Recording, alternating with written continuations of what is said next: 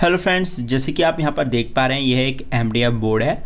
और यहाँ पर आपको एमडीएफ बोर्ड ले लेना है। जितनी मर्ज़ी चाहे आपको बड़ा बनाना है, उतना मर्ज़ी आप बड़ा बना सकते हैं इसको।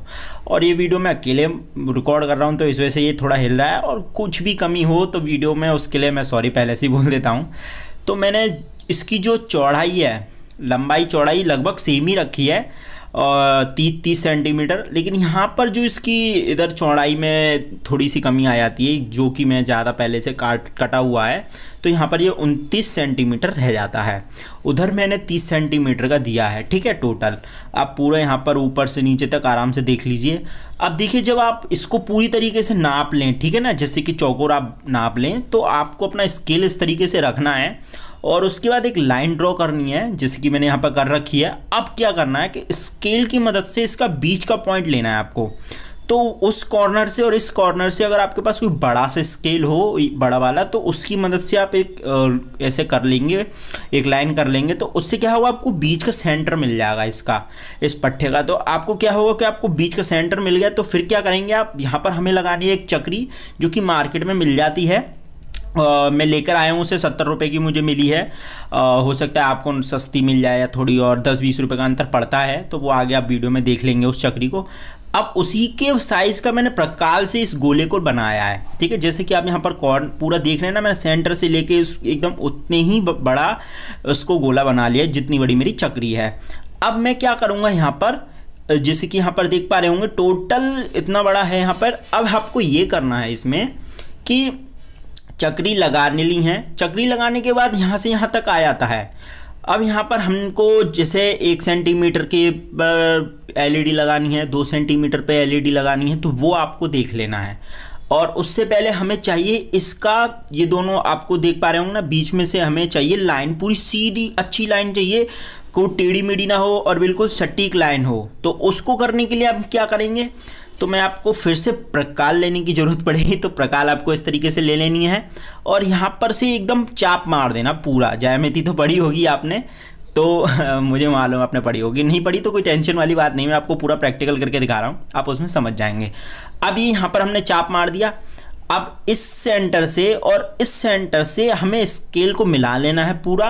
जब हमारा स्केल मैं मिलाकर दिखा दे रहा हूँ आपको। अब जैसे स्केल को आप मिला लेंगे, उसके बाद आपको फिर से पेंसिल से एक लाइन कर देनी है पूरी। आप जैसे ही पेंसिल से एक लाइन कर देंगे तो यहाँ पर आपको एकदम सेंटर से जाती हुई सीधी रेखा जो है आपको मिल जाती है, यानी कि जो लाइन है वो आपको पूरी मिल जाती है। अब यहाँ पर आपको कुछ और करने की ज़रूरत है। तो वो आप तीन लाइन और कर दीजिए। उसके बाद अब आपके ऊपर डिपेंड करता है कि भाई आपको एलईडी कितनी कितनी दूर लगानी है। एक सेंटीमीटर के गैप पे लगानी है या दो सेंटीमीटर के गैप पे लगानी है। जितना बड़ा हो जाएगा, उतना मैं कहूँगा आपको थोड़े थोड़े गैप बढ़ा दीजिएगा, ठीक है? कोई दिक्कत नहीं है। आपके ऊपर डिपेंड करता है। मैंने आपको पहले ही बनाकर दिखा दिया। आप वैसे चाहे वैसे, जैसी मर्ज़ी चाहें आप वैसे बना सकते हैं।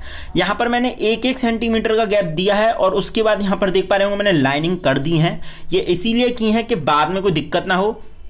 एक तरफ़ तो लगेंगी जो बड़ी बड़ी लाइन है, इसमें तेरह तेरह एलईडी लग जाती हैं और जिधर जो कि छोटी लाइन है, उधर नौ नौ एलईडी लग लग जाती हैं। अब यहाँ पर हमने ले लिया है इसको। अब हम इसे आरी की मदद से काट लेते हैं चूँकि हमें ये इतना पार्ट नहीं चाहिए। हमें जित, इतना चाहिए, इससे ज़्यादा नहीं चाहिए।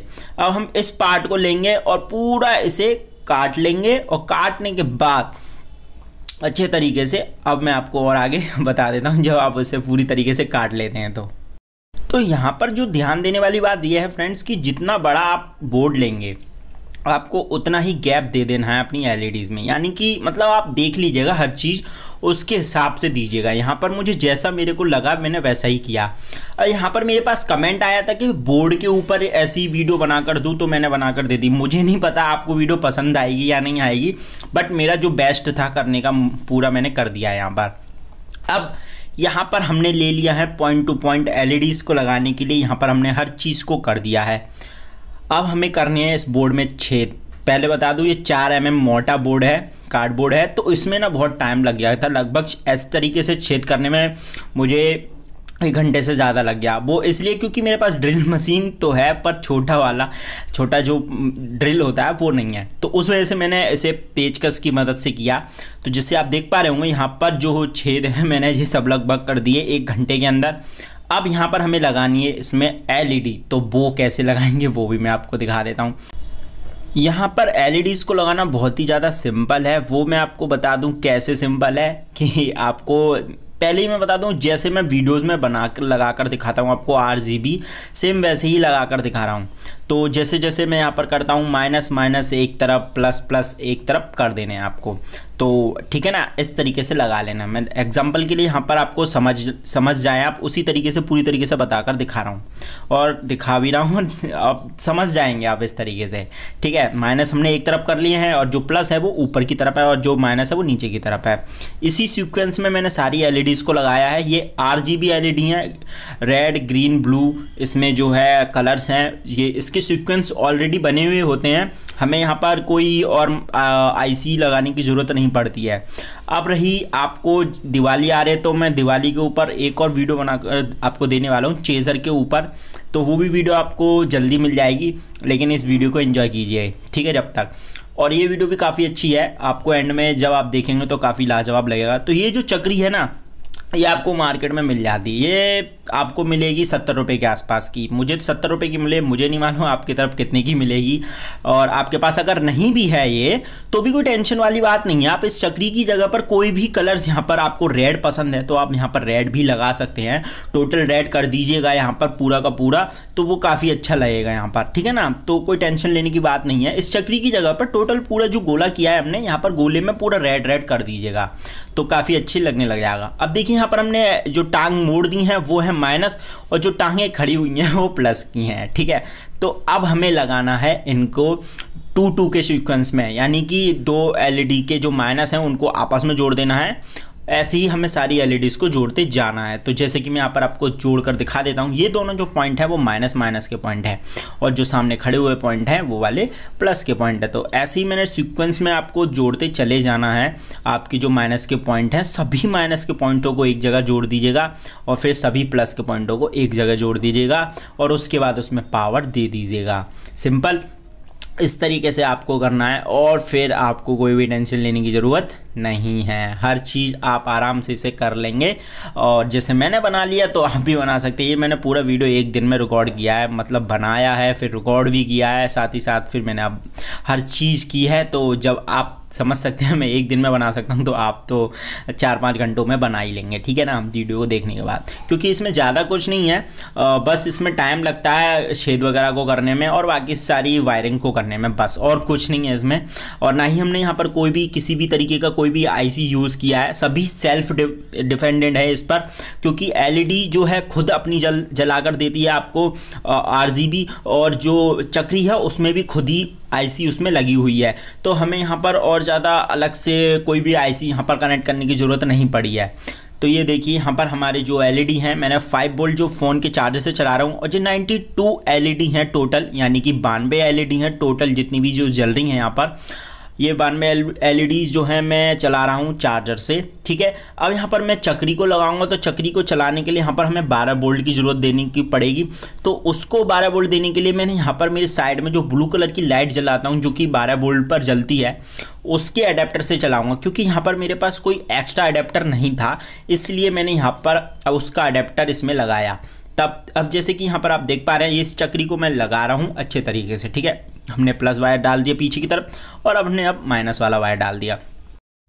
अब देखिए फ्रेंड्स, जैसे कि हम यहाँ पर चक्री को अच्छे तरीके से लगा देना है, जैसे हम लगाते हैं और मतलब सेंटर आप देख लीजिएगा, मार्क करके पूरे अच्छे तरीके से इसको देना है हमें 12 बोल्ट और जो हमारी एलईडी है उसको देना है हमें 5 बोल्ट तो फाइव बोल्ट तो हम चार्जर से दे देंगे।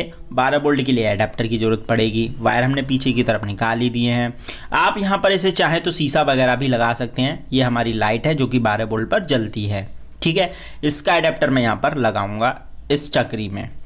तो इसे भी कनेक्ट कर देते हैं। उसके बाद आप देख लीजिए कि जलता कैसे तो जैसे कि आप यहाँ पर देख पा रहे हैं, चक्री इस तरीके से जलता है। इसमें ही एलईडी वगैरह लगी हुई हैं। अब हमारा जो लाइट है वो भी बंद हो चुका है, ठीक है? और जो इसमें टोटल आईसी इसमें लगी हुई है। अब ये देख लीजिए, यहाँ पर ये कितना बढ़िया लग रहा है। चक्री अपने अलग से जल रही है और जो आरजीबी है वो अपने अलग से जल रही है, जो कि काफ़ी अच्छी मुझे लगता है, यहाँ पर लग रहा है। और अगर आप चाहते हैं कि नहीं, मुझे यहाँ पर आरजीबी नहीं चाहिए, ठीक है ना? मुझे यहाँ पर कलर चाहिए, जैसे रेड हो गया, सिंगल रेड होता है, ग्रीन होता है, ब्लू होता है और वाइट होता है। तो मुझे ये कलर्स चाहिए यहाँ पर चलाने के लिए। तो ये कैसे बनाने हैं? तो इसकी अगर आप चाहते हैं तो मुझे कमेंट कर दीजिएगा।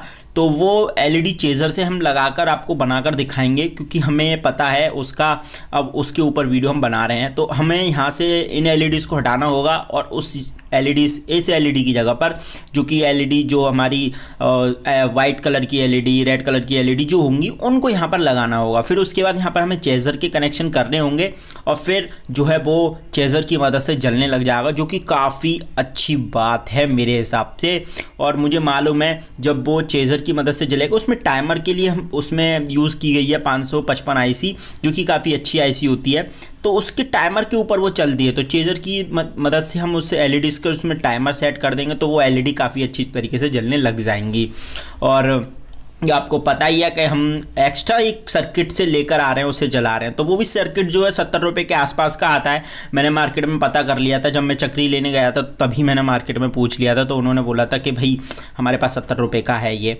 और आपकी तरफ़ पता नहीं मुझे कितने का मिलेगा, आप इसे ऑनलाइन भी ऑर्डर कर सकते हैं अमेज़ोन फ्लिपकार्ट दोनों जगह पर ये मिल जाता है आपको। और पता नहीं है पर कितने का मिलेगा बट आपको मिल जाएगा। अच्छी बात तो ये है। और दिवाली इन्जॉय कीजिएगा। इस तरीके से आप इसे घर में ही बना सकते हैं। और आप मुझे कमेंट कर सकते हैं, कोई भी आइडिया दे सकते हैं कि आपको किस किस तरीके की वीडियोस चाहिए। तो मैं आपको उन उन तरीके की वीडियो बनाकर दे दूँगा। तो जैसे कि आप देख पा रहे होंगे, ये बारह बोल्ट का अडेप्टर है। ये जो लाइन है, ये फाइव बोल्ट की है चार्जर से मैंने दी हुई है। ठीक ठीक है? अब आप मुझे ये बता दीजिए, कहीं पर कोई कमी अगर आपको लग रही है या फिर आपको लगता है मुझे, मैं सेटिस्फाइज नहीं हूँ तो मुझे आप कमेंट कर कर बता सकते हैं।